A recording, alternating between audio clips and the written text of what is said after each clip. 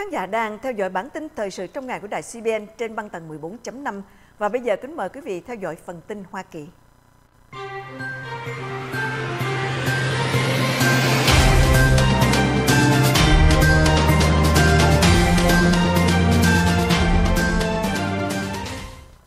Kính thưa quý vị, ánh sáng mặt trời nóng và ẩm làm suy yếu virus COVID-19. Một giới chức trong nhóm đặc nhiệm của Hoa Kỳ do Tổng thống Donald Trump thành lập để đối phó với đại dịch corona vào hôm 3 tháng 4 cho biết có dấu hiệu cho thấy virus COVID-19 suy yếu nhanh hơn khi bị phơi ra dưới ánh sáng mặt trời, các điều kiện nóng và ẩm. Một dấu hiệu cho thấy đại dịch có thể sẽ ít lây lan hơn trong những tháng mùa hè tới đây.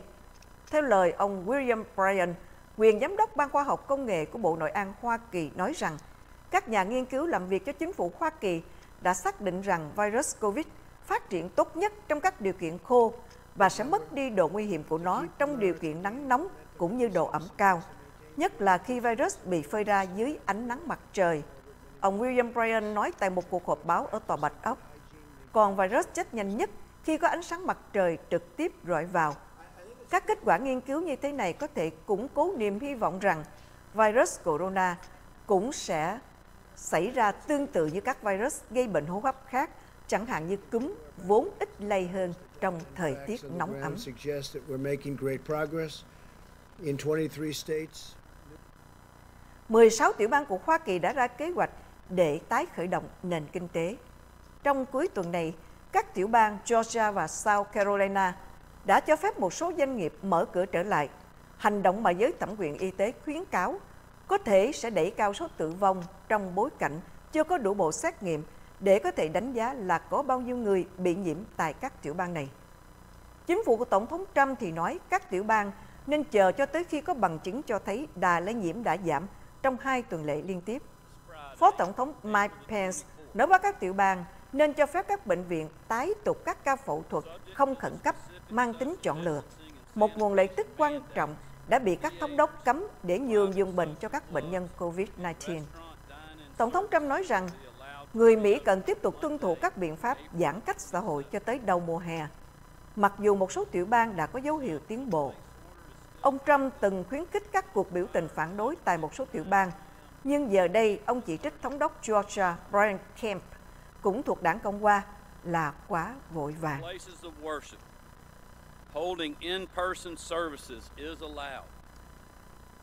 Bên cạnh đó thì Tổng thống Trump có thể gia hạn lệnh về các biện pháp phòng ngừa COVID-19.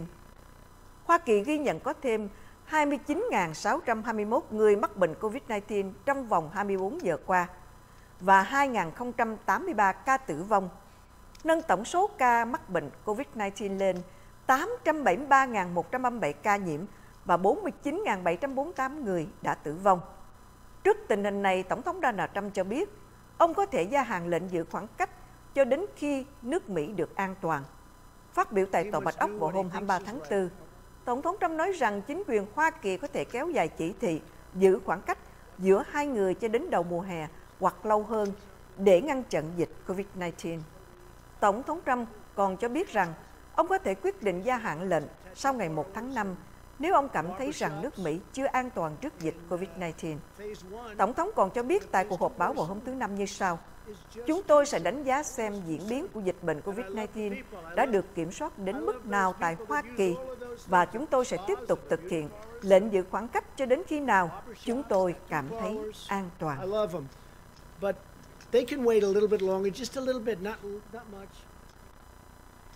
Và có hơn 147.000 người dân ở thành phố New York xét nghiệm dương tính với COVID-19. Theo dữ liệu của Đại học Johns Hopkins, tính đến sáng ngày 23 tháng 4, có hơn 147.000 người dân thành phố New York xét nghiệm dương tính với COVID-19. Tuy nhiên, phát biểu tại cuộc họp báo hàng ngày, bác sĩ Osiris Barber, quan chức cao cấp của cơ quan y tế thành phố New York cho rằng con số đó chỉ là phần nổi của tảng băng vì một số lý do khác nhau, bà Barber thừa nhận. Hiện nay thành phố vẫn phải ưu tiên các đối tượng cần được xét nghiệm. Bà còn nói rằng, chúng tôi muốn dành xét nghiệm cho những người thực sự bị bệnh đủ nặng, cần phải nhập viện. Với thực tế đó, sẽ không có điều gì khiến tôi ngạc nhiên nếu tại thời điểm này có thể có gần một chục triệu cư dân thành phố New York đã bị lây nhiễm với COVID-19. Thị trưởng New York ông Bill de Blasio cho biết thành phố vẫn đang nỗ lực tăng cường khả năng xét nghiệm cho những người nghi nhiễm COVID-19. It's a smart resolution. Uh, so I feel very good about that. And if we Nhiều người dân Hoa Kỳ ủng hộ cho các biện pháp giữ khoảng cách. Kết quả một cuộc thăm dò được công bố vào ngày 23 tháng 4 cho thấy rằng 80% người trưởng thành tại Mỹ được hỏi đã ủng hộ việc áp dụng các biện pháp nghiêm ngặt nhằm làm chậm sự lây lan của dịch COVID-19. Cuộc thăm dò do Kaiser Family Foundation thực hiện cho thấy tỷ lệ ủng hộ cao đối với các biện pháp ở nhà, trong lúc Tổng thống Donald Trump muốn mở cửa trở lại nền kinh tế. Quan điểm trên của Tổng thống Trump nhận được sự ủng hộ của nhiều quan chức chính quyền và một số thống đốc tiểu bang tuyên bố đã sẵn sàng mở cửa lại một số hoạt động kinh tế. Chỉ có 19% số người trong cuộc thăm dò đánh giá các biện pháp hạn chế hoạt động đang gây ra nhiều tác hại hơn là tác động tích cực. Những người ủng hộ dân chủ thể hiện sự ủng hộ cao hơn cho các biện pháp giữ khoảng cách với tỷ lệ 94% so với 61% người theo đảng Cộng hòa. Tiếp tục phần tin Hoa Kỳ. Hạ viện lập nhóm điều tra ứng phó liên bang đối với đại dịch COVID-19. Vào ngày 23 tháng 4, Hạ viện đã thông qua đề xuất thành lập một hội đồng điều tra đặc biệt nhằm kiểm tra công tác ứng phó của chính quyền liên bang đối với đại dịch COVID-19.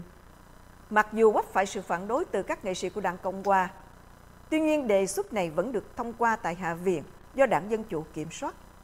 Theo quy định, hội đồng nói trên sẽ có quyền hạn rộng lớn để tiến hành điều tra cách thức chi tiêu của liên bang, sự sẵn sàng của nước Mỹ cũng như thận trọng của chính quyền Tổng thống Donald Trump trong công tác đối phó với đại dịch. Hội đồng này cũng có thể đưa ra yêu cầu triệu tập khi tiến hành những cuộc điều tra. Oh my goodness. We have to be prayerful. Prayerful. Kính thưa quý vị và các chuyên gia nói rằng ý tưởng tiêm chất khử trùng của Tổng thống Donald Trump là nguy hiểm. Đây là một gợi ý điên rồ vô cùng nguy hiểm. Nếu bạn tiêm chất khử trùng, bạn có thể chết vì nó trước cả khi chết vì COVID-19. Paul Hunter là giáo sư y khoa tại Đại học East Anglia của Anh Quốc cho biết. Trong cuộc họp báo hàng ngày về COVID-19 ở Tòa Bạch Ốc vào hôm 23 tháng 4, Tổng thống Donald Trump đã gợi ý các nhà khoa học nên tìm cách đưa ánh sáng hoặc chất khử trùng vào cơ thể những người bị nhiễm nCoV để giúp họ diệt loại virus này. Barastu Donjai là giám đốc dược phẩm, đồng thời là giáo sư về dược phẩm xã hội tại Đại học Reading của Anh cho biết, bình luận của ông Trump thật sự gây sốc và phản khoa học. Chúng ta đã thấy nhiều người vô tình đầu độc bản thân bằng cách uống chloroquine do hy vọng vào những bình luận phản khoa học. Ông Donjai cũng đề cập tới việc ông Trump đã từng ủng hộ sử dụng thuốc trị sốt rét hydroxychloroquine để chữa COVID-19, thậm chí còn ca ngợi đây có thể là món quà của Chúa. Một người đàn ông ở Arizona đã tử vong hồi cuối tháng 3 vừa qua sau khi uống chloroquine phosphate vì tin rằng nó sẽ giúp cho ông ngăn ngừa nCoV. Vợ của ông này đã nói với NBC News rằng bà đã xem một chương trình truyền hình, trong đó Tổng thống Trump đã nói về lợi ích tiềm tàng của chất chloroquine. Còn ông Robert Reich, giáo sư chính sách công tại Đại học California, Hoa Kỳ, cũng phản đối kịch liệt ý kiến tiêm chất khử trùng của ông chủ Nhà Trắng. Những cuộc họp báo của ông Trump đang gây nguy hiểm nghiêm trọng cho sức khỏe cộng đồng. Xin đừng uống thuốc khử trùng. Reich đã đăng trên Twitter. Tính đến nay đã có 210 quốc gia, vùng lãnh thổ đã xuất hiện COVID-19, khiến hơn 2,7 triệu người bị nhiễm, hơn 190.000 người đã chết. Hoa Kỳ hiện nay là vùng dịch lớn nhất trên thế giới với hơn 885.000 ca nhiễm và có hơn 50.000 ca tử vong. 29 million to be exact. In addition to that, we're making it. Thống đốc cấm các hàng thu nợ lấy tiền trợ cấp kinh tế của người dân. Thống đốc Gavin Newsom vào ngày thứ Năm vừa qua đã ký lệnh hành pháp cấm các hãng đòi nợ thuê lấy tiền trợ cấp kinh tế do chính phủ liên bang trả cho người dân California. Sắc lệnh này có hiệu lực ngay lập tức và có quyền hồi tố, nhưng không áp dụng cho những người nợ tiền cấp dưỡng hay tiền nuôi con. Sắc lệnh mới không cho các hãng đòi nợ lấy tiền trợ cấp theo đạo luật CARES và có hiệu lực hồi tố. Do đó, nếu quý vị là hãng đòi nợ thuê và đã lấy tiền của người dân, quý vị phải trả lại số tiền này. Ông Newsom đã nói như vậy. Luật CARES được Quốc hội phê chuẩn trợ cấp cho người dân Hoa Kỳ tối đa là 1.200 Mỹ Kim tùy thuộc vào thu nhập. Thống đốc cũng thông báo người dân sẽ được tạm hoãn trả nợ học phí, tức là student loan debt, trong 90 ngày. Chính quyền Newsom đạt được thỏa thuận hoãn trả nợ với 21 trên 24 dịch vụ cho vay học phí lớn nhất tại tiểu bang. Cũng theo thỏa thuận, người chậm trả nợ sẽ không bị phạt tiền, bà cũng không bị trừ điểm tín dụng. tested positive in the state of California. Hospitalizations down 0.4% uh, and 1.2 Hơn 26 triệu người Hoa Kỳ xin trợ cấp thất nghiệp.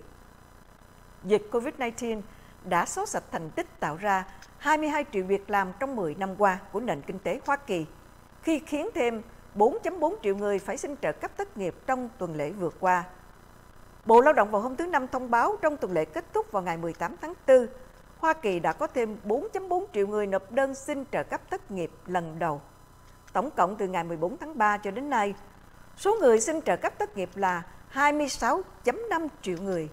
Đây là giai đoạn có số người thất nghiệp tăng mạnh nhất kể từ khi Bộ Lao động bắt đầu theo dõi dữ liệu này từ những năm 1967. Không phải tất cả những người nộp đơn xin trợ cấp đều sẽ được chấp thuận. Một số người sẽ bị từ chối do không đáp ứng các yêu cầu. Dù vậy, số lượng đơn xin trợ cấp khổng lồ cũng cho thấy những ảnh hưởng khủng khiếp của đại dịch đối với nền kinh tế. Khoảng 16.2% lực lượng lao động Hoa Kỳ đã bị sa thải, nghỉ không lương hoặc giảm giờ làm. Số đơn xin trợ cấp mới đã giảm dần trong 3 tuần qua, từ mức đỉnh 6 triệu trong tuần cuối tháng 3. Dù vậy, mức tăng hàng triệu đơn mỗi tuần vẫn cho thấy sự khác biệt lớn so với thị trường việc làm trước khi đại dịch diễn ra. Chỉ mới vài tháng trước đây, số đơn xin trợ cấp vẫn còn ở mức thấp kỷ lục với 200.000 đơn mỗi tuần. Bà Heidi Shearholz, nhà kinh tế học cao cấp tại Viện Chính sách Kinh tế, cho biết số đơn hiện tại đã cao hơn 20 lần so với thời trước đại dịch và gấp 5 lần giai đoạn tồi tệ nhất của cuộc khủng hoảng tài chính. Một lần nữa kính mời quý vị vẫn tiếp tục giữ màn hình của đài CBN TV trên băng tầng 14.5. Bà Băng Châu sẽ trở lại ngay với phần tin Việt Nam.